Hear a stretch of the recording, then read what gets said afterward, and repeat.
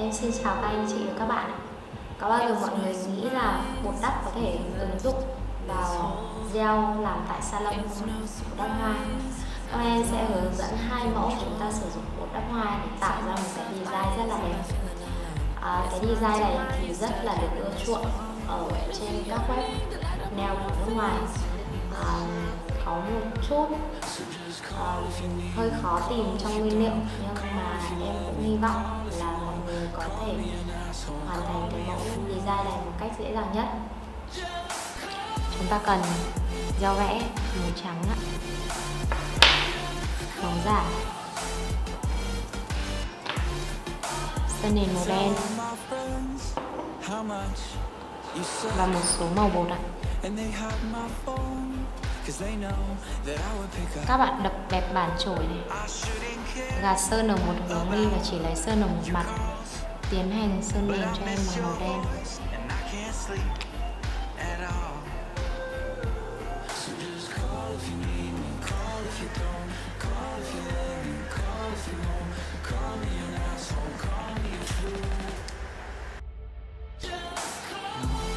Các bạn sơn lần thứ hai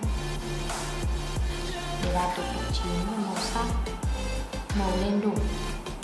Thì luôn luôn là chúng ta phải sơn hai lớp. Khi sơn thì lưu ý là chúng ta không đè trổ quá mạnh, trổ luôn luôn vuông góc với mặt nóng để cho lớp sơn của mình được bóng và mịn sấy 30 giây.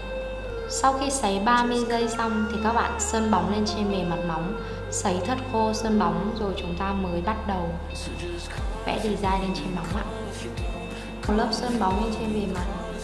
Sấy thật khô lớp sơn bóng này. Để chắc chắn, các bạn có thể sấy 60 giây trong một lần nóng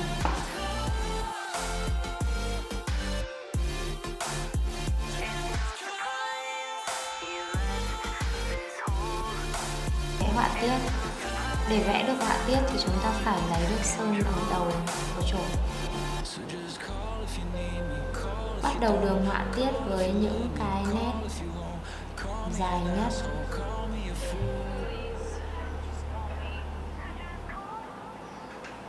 Có độ đậm ở đầu và độ nhạt dần ở thân của cái họa tiết. Tiếp tục với những nhánh nhỏ hơn.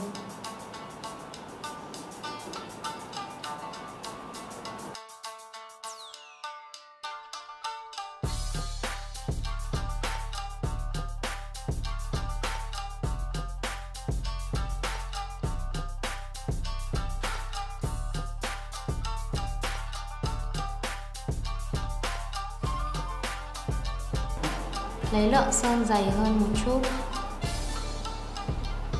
Lượng sơn dày hơn một chút này. Các bạn đi các nước đậm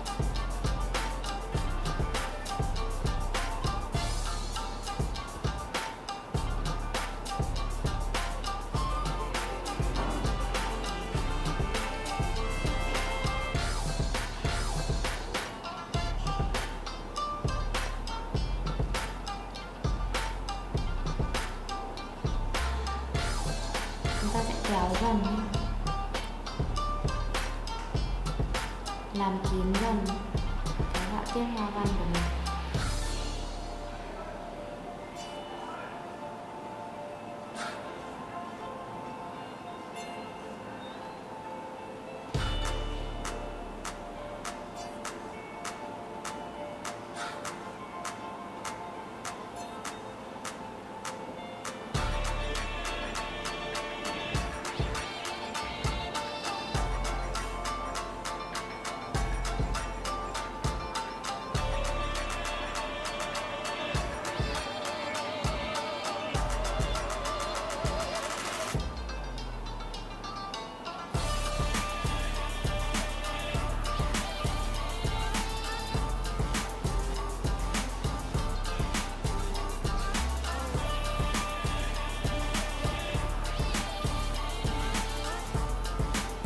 Ta hoàn thành hình họa tiết này.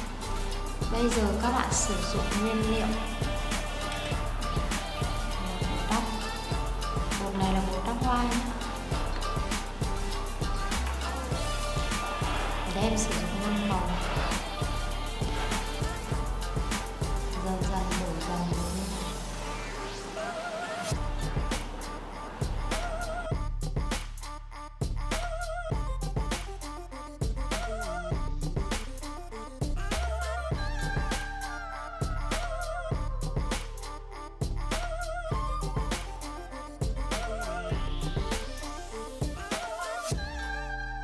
sử dụng chổi lông mềm ạ.